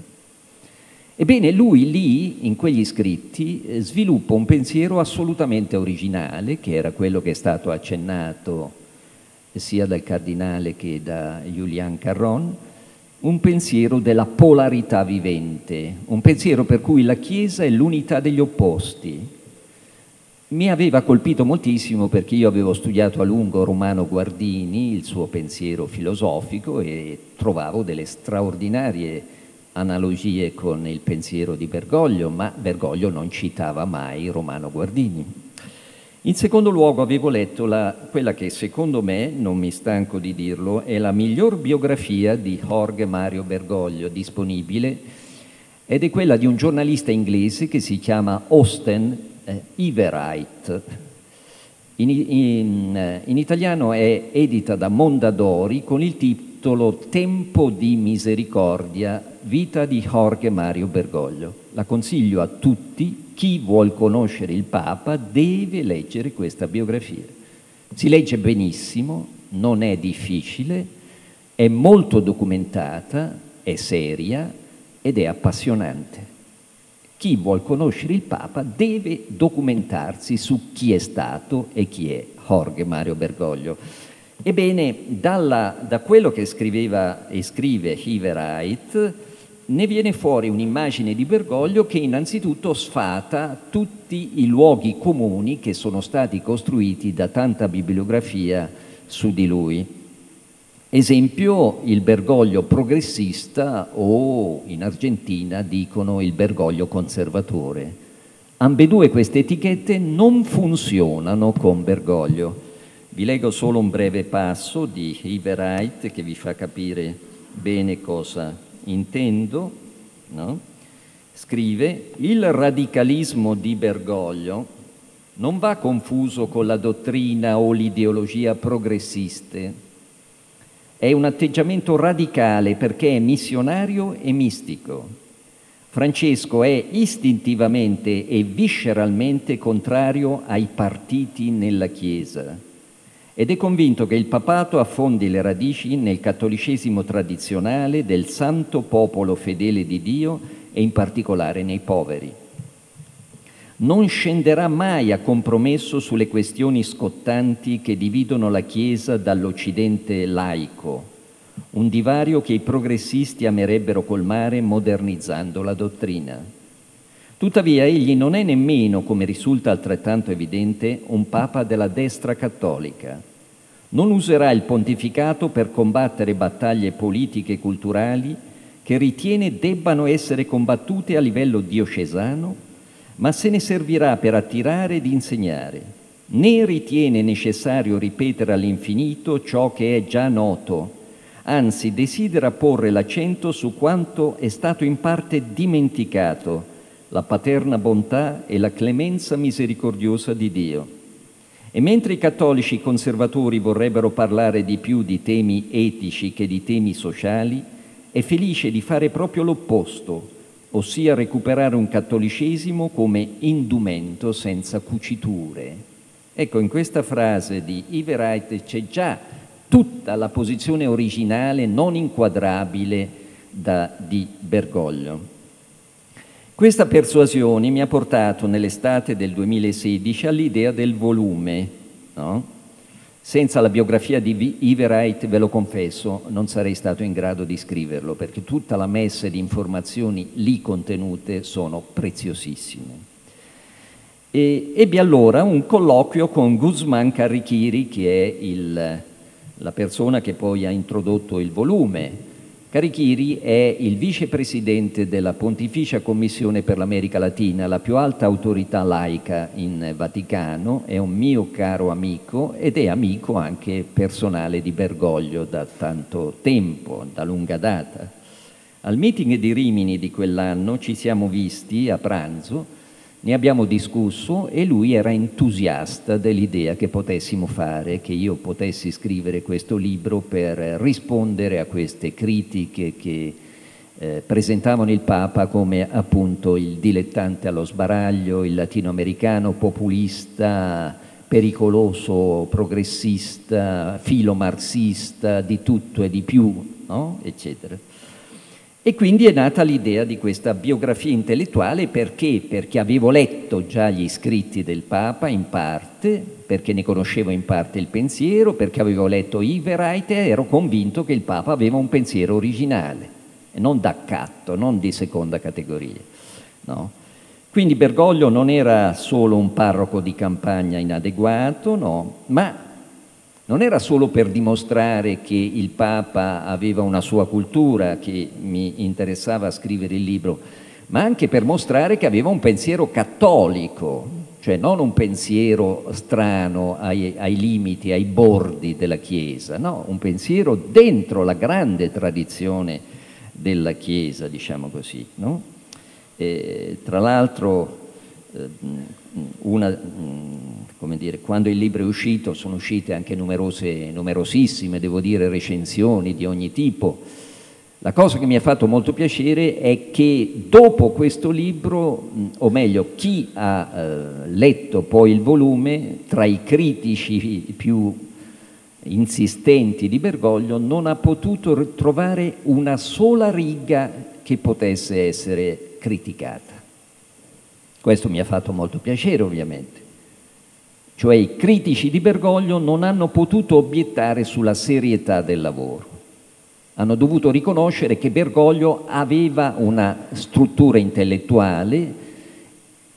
I più radicali sono arrivati a dire, per poter eh, dire, no, ma Borghesi ha messo, eh, ha dato Mm, eh, dire, a Bergoglio quello che lui non avrebbe, nel senso che ha fatto più bello della realtà quello che, no? per tentare di, di, di sormontare la, la, il, dire, tra questi magister e eh, un altro l'ho letto proprio venendo in treno eh, qui eh, qui a Perugia oggi, eh, una recensione in inglese ma è di un vaticanista italiano, dove dice no, ma Borghesi ha messo un pensiero troppo perfetto, in fondo Bergoglio è un pragmatico.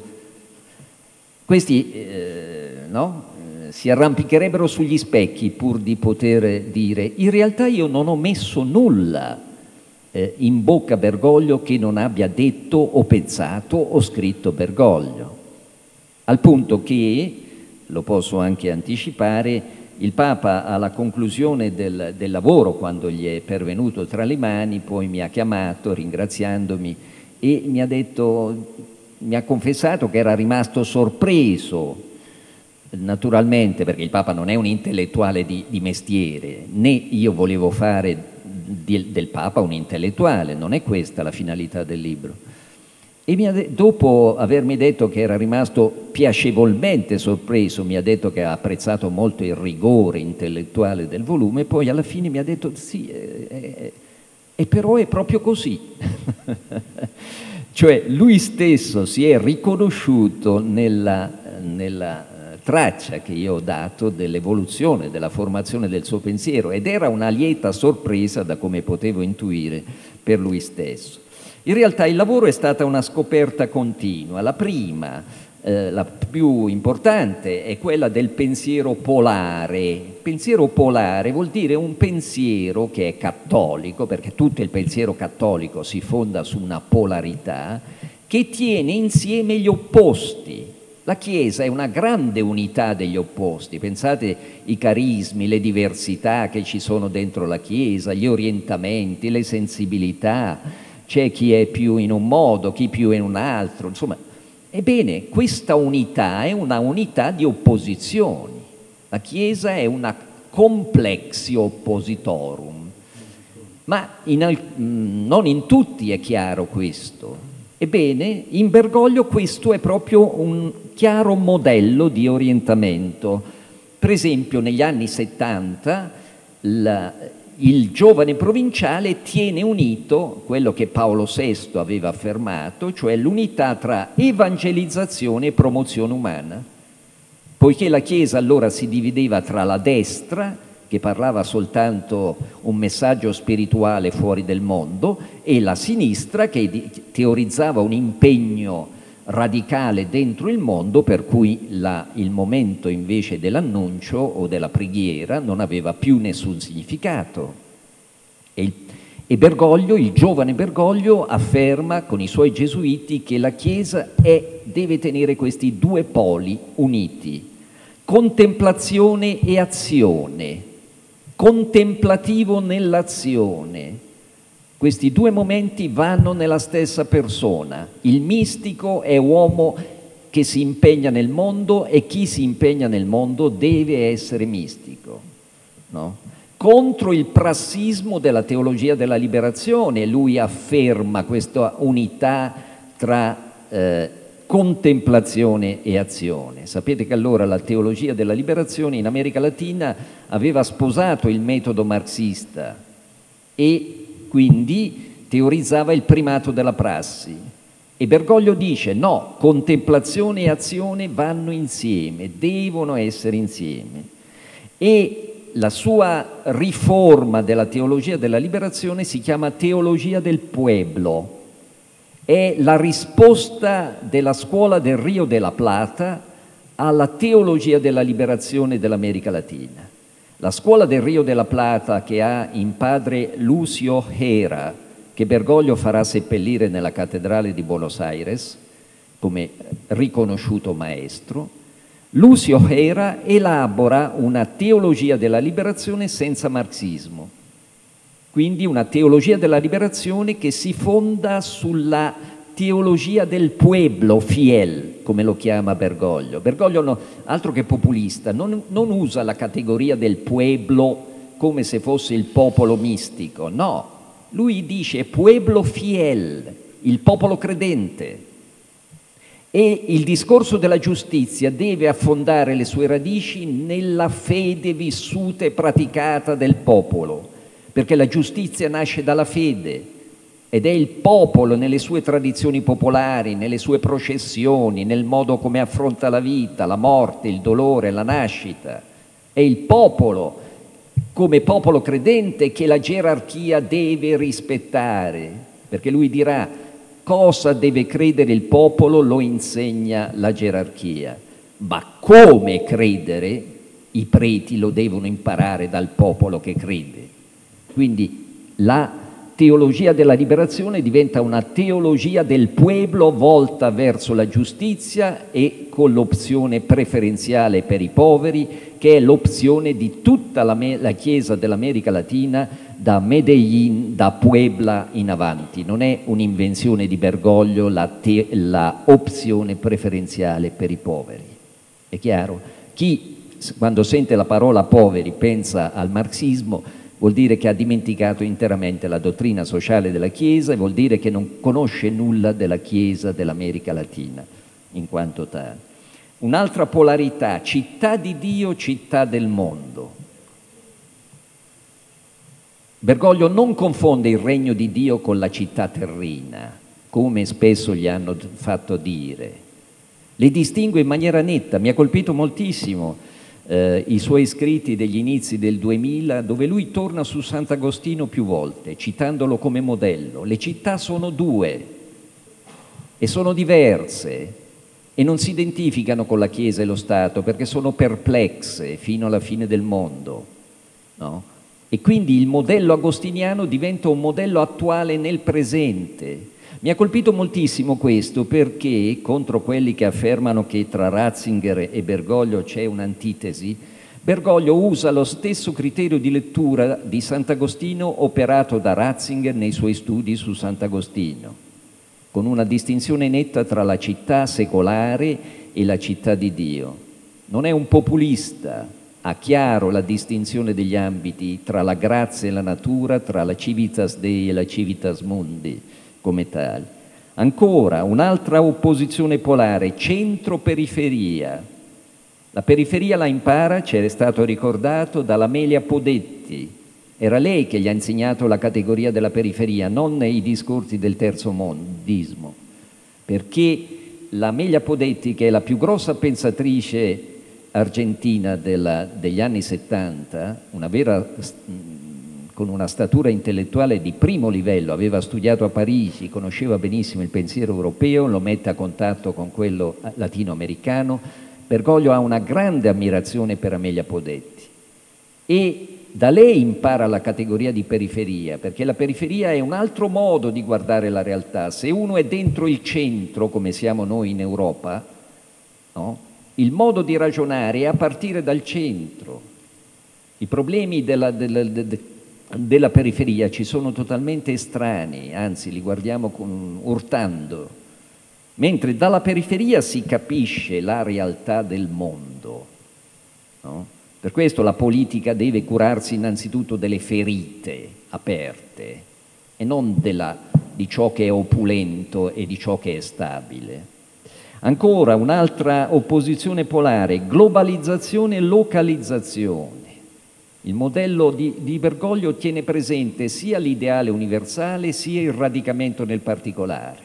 Quanto è attuale questo modello oggi, nel dibattito attuale, dove si passa da un universalismo astratto, da un europeismo astratto, ad una reazione di un localismo totalmente eh, anti-universale. E la storia oscilla continuamente tra l'universalismo e il particolarismo. Il pensiero cattolico non si fa inchiodare nelle categorie destra-sinistra, ma tiene presente l'unità dei contrari in una tensione vivente. Questo è il pensiero cattolico. Non ogni volta come una banderuola andare da una parte e dall'altra, seguendo i poteri del mondo e seguendo i cambiamenti degli scenari storici. Quello, questo pensiero polare Bergoglio lo chiama pensiero tensionante, aperto, polare, che costruisce l'unità non eliminando i poli, ma ponendoli in dialogo e impedendo che diventino contraddittori. Perché il rischio dei poli è di diventare contraddittori tra di loro, cioè l'uno esclude l'altro. E questa, quando diventano contraddittori c'è guerra. Anche nella, nel mondo, nella geopolitica internazionale, le tensioni arrivano fino a un certo punto, poi esplodono. Allora lì se non ci sono uomini di pace che hanno l'intelligenza dritta e la capacità e la forza di tenere la barra al centro, come si dice, eh, le situazioni diventano esplosive. Questo vale nella Chiesa, nel mondo, nella società, in qualsiasi luogo. Vale anche nella Chiesa, perché Bergoglio non lo accusano tanto di essere autoritario, cioè, non smuove mai nessuno, non pensiona nessuno, aspetta sempre che finiscano gli anni giusti, anche dei personaggi che più lo hanno criticato, stanno sempre lì, nessuno li ha mandati a, a, a Sant'Elena stanno sempre lì perché lui aspetta, perché tiene, no? A me personalmente ha detto, ma è una cosa che ha detto a tanti, no, ma la critica fa bene. No? Quindi n- non bisogna schiacciare eh, i, le, i, le, opposizioni, i, le, i contrasti, quando questi si mantengono dentro una tensione vivente, costruttiva, polare, in quanto tale. Il pensiero tensionante di Bergoglio si è formato in un clima di guerra, l'Argentina degli anni 70, divisa tra una giunta militare eh, omicida, sappiamo benissimo gli aerei che portavano eh, spesso innocenti, presi, no? che venivano portati in alto mare e lasciati eh, e buttati fuori dal, dall'aereo. No? Sono morti 10, 12, 13 mila persone così, eh, tra la tortura e i viaggi in mare. E i Montoneros, filocastri, eh, i guerriglieri filocastristi, che non erano da meno nella loro ferocia. La Chiesa presa in ostaggio tra questi due estremi. No? La risposta di Bergoglio è una risposta cattolica, cioè drammatica, della Chiesa come unità degli opposti, non una unità irenica così pacificante all'acqua di rosa, ma una capacità di valorizzare le istanze e di portarle su un piano più alto. No?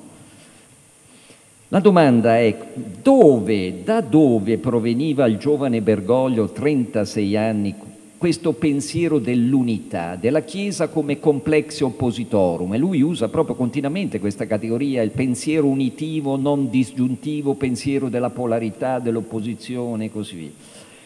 No? Da dove veniva? Un pensiero familiare, l'ho detto prima, chi ha studiato Romano Guardini, è appena uscito un mio volume che porta il titolo Romano Guardini, Antinomia della verità e conoscenza affettiva per Guardini la verità è antinomica, non è mai a senso unico.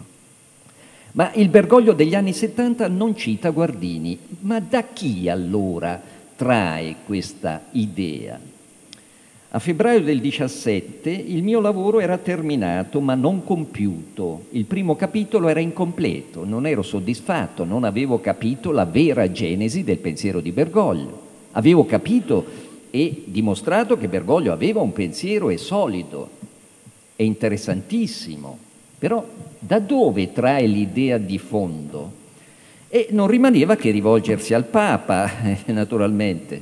Non, non, è stata la mia prima idea, è stata l'ultima, però non sapevo come, come risolvere la questione, non, gli iscritti non mi aiutavano, la biografia nemmeno e così via, quindi ho chiesto a Carrichiri eh, dico che ne pensi? Facciamo un po' di domandine al Papa, ci proviamo. E lui mi ha detto proviamo.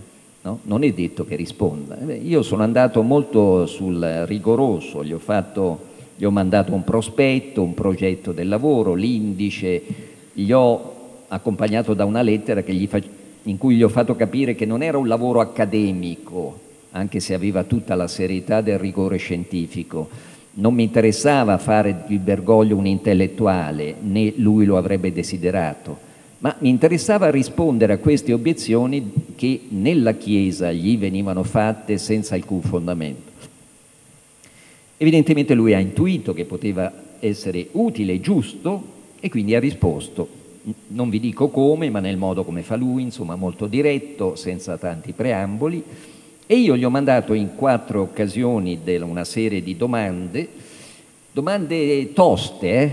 non domandine così, volevo veramente capire e quindi l'ho messo sotto pressione, se così si può dire, come se ne avesse bisogno, evidentemente era già sotto pressione per mille faccende sue, e ha trovato il tempo, questa è la cosa che più mi ha commosso, devo dire, che in mezzo a mille cose abbia trovato il tempo di rispondermi con dei file audio, abbiamo convenuto così, addirittura in, nel giorno del, del, quarto anno del suo pontificato lui ha risposto con due file audio quando avrà avuto messaggi di ringraziamento, da, di auguri da mezzo mondo, quindi ha trovato pure il tempo, eccetera.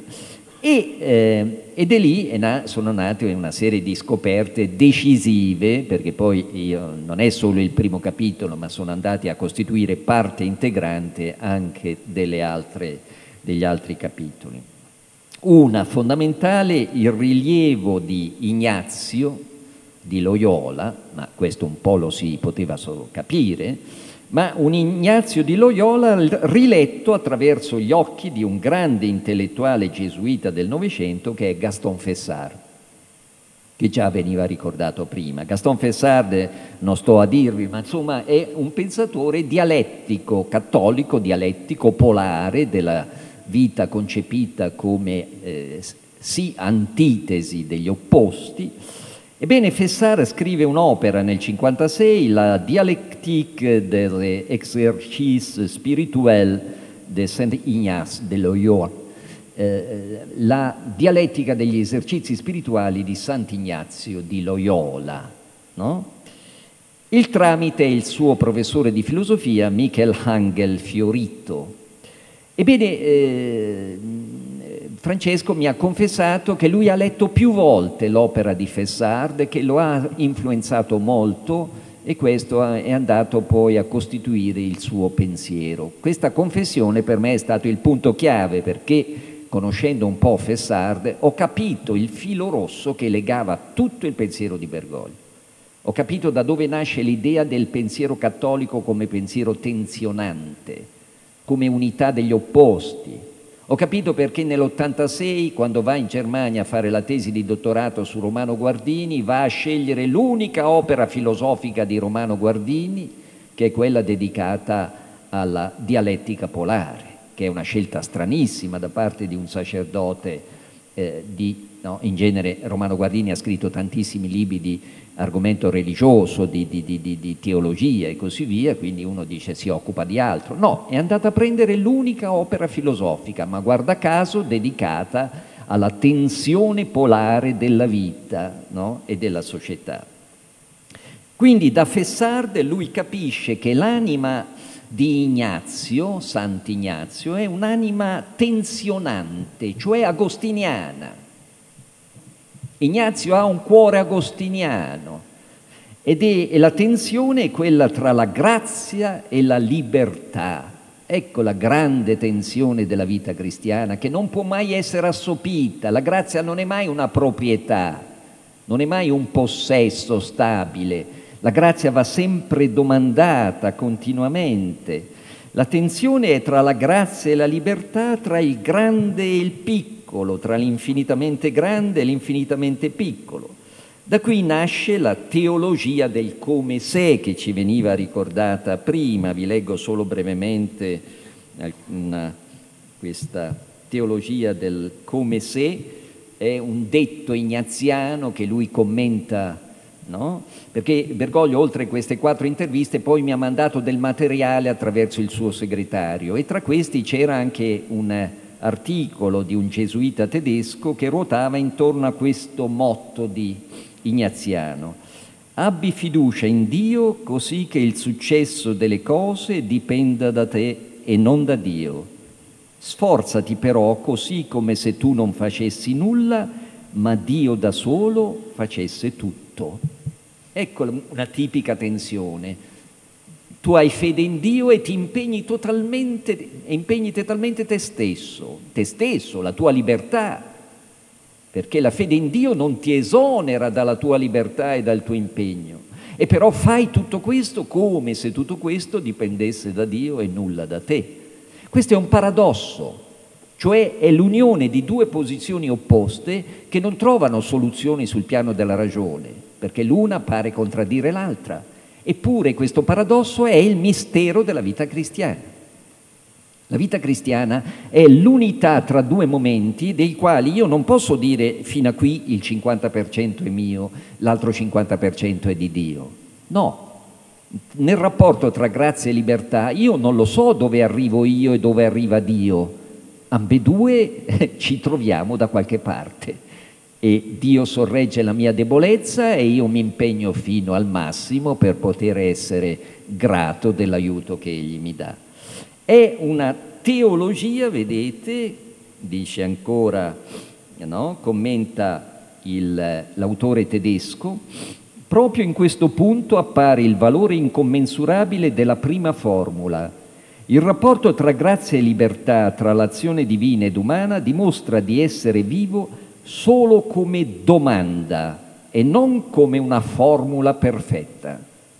Questa domanda deve essere vissuta. Ecco, il rapporto con la fede richiede di essere domanda prima ancora che formula perfetta.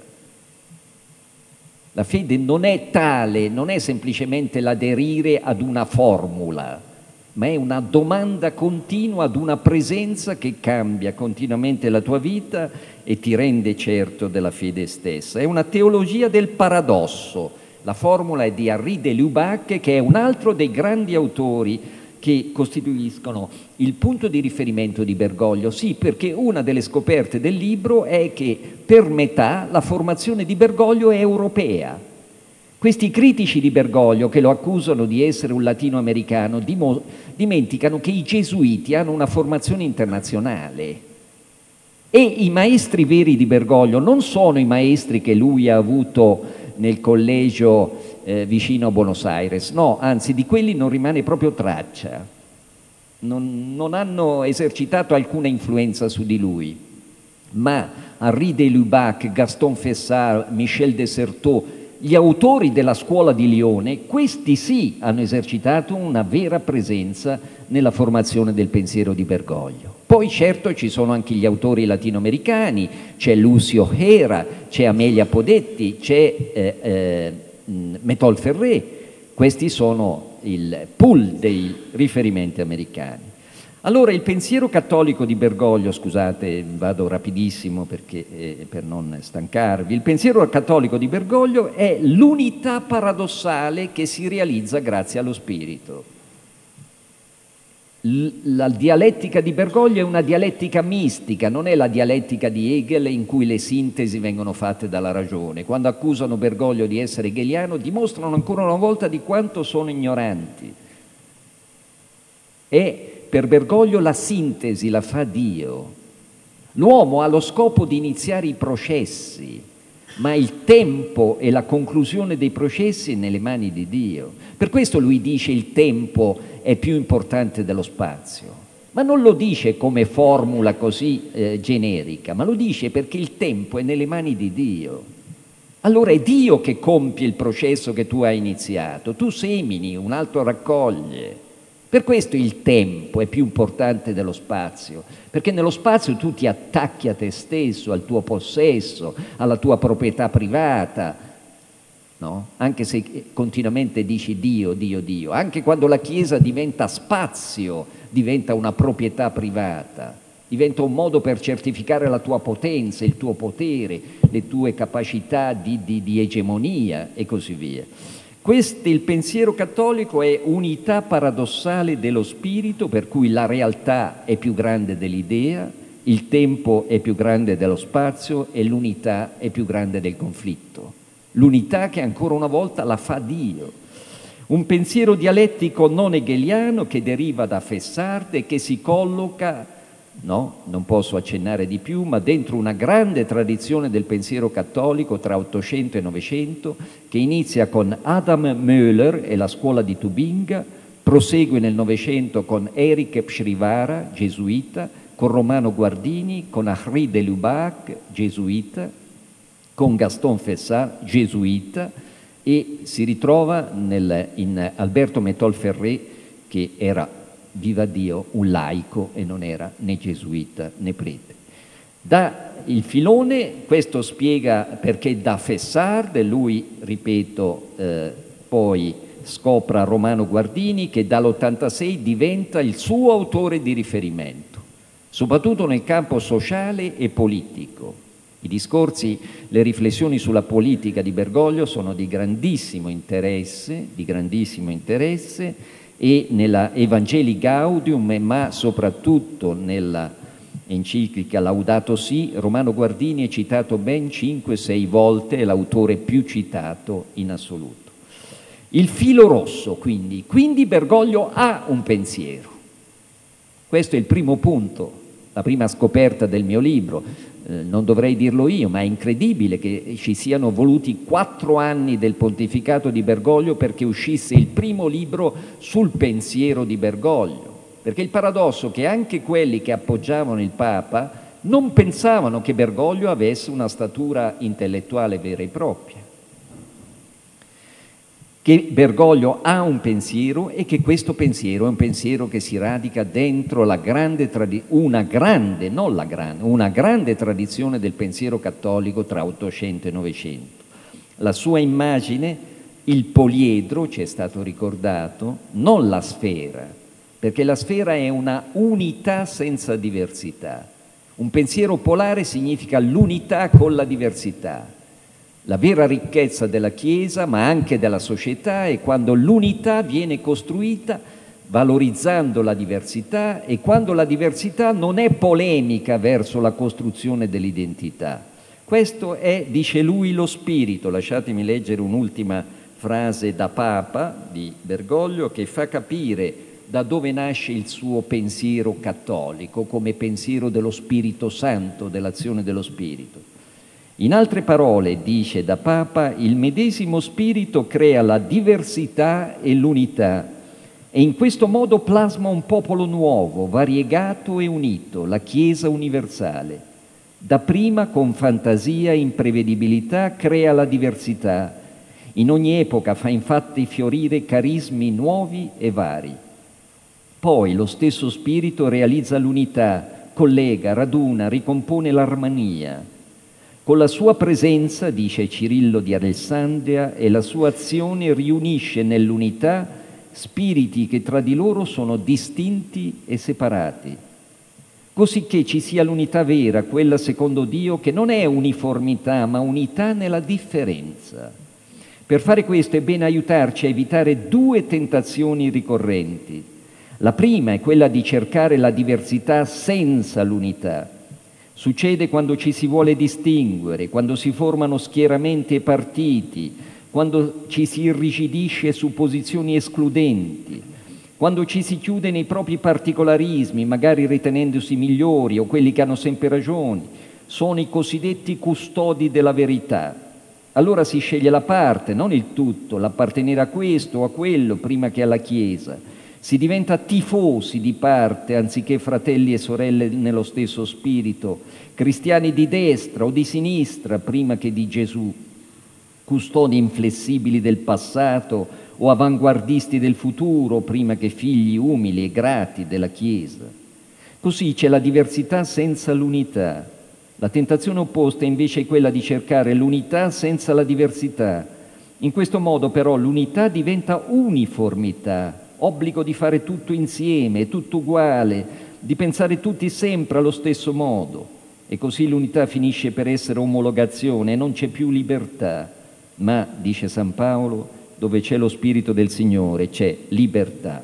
Ecco, ed è questa unità che trova la sua, che permette di capire, di capire quella polarità fondamentale per Francesco che è quella tra verità e misericordia. Quante discussioni inutili dopo Amoris Letizia sul fatto che questo Papa sarebbe un Papa del misericordismo, un Papa per il quale la misericordia toglie il valore alla verità, un Papa buonista, quante scemenze. Misericordia e verità è una polarità per Bergoglio. La verità è chiaro che viene prima, perché la verità è universale, è il polo oggettivo, ma la declinazione particolare della verità si chiama misericordia. La verità è per tutti, la misericordia è per alcuni, per quelli con cui hai a che fare. Il rapporto tra verità e misericordia è un rapporto polare, è una polarità, è un'opposizione vivente. La Chiesa vive della tensione tra verità e misericordia, tra universale e particolare, tra la verità e la sua declinazione, così come c'è polarità tra il cherigma e l'etica, il contenuto di Vangeli Gaudium. Se il messaggio etico prende il posto dell'annuncio cristiano, c'è qualcosa che non va. Se tutta l'azione del cristiano oggi nel mondo si polarizza su quattro valori etici, sempre quelli, e dimentica che viviamo in un mondo secolarizzato che non capisce nulla di, di questi valori, allora bisogna rimettere in primo piano l'annuncio, il cherigma, l'incontro, come ci veniva ricordato prima, la testimonianza, che non esclude le conseguenze etiche o le battaglie su singoli valori che fare che vengono fatte in sede politica, però l'annuncio viene prima, è una polarità anche questa tra il cherigma e l'etica, così come è una polarità quella tra la tradizione e il rinnovamento. Questo Papa non è che rinnova abbandonando la tradizione, la tradizione è un punto fermo, ma la tradizione vive nella storia ogni volta dentro un rinnovamento intelligente. Grazie.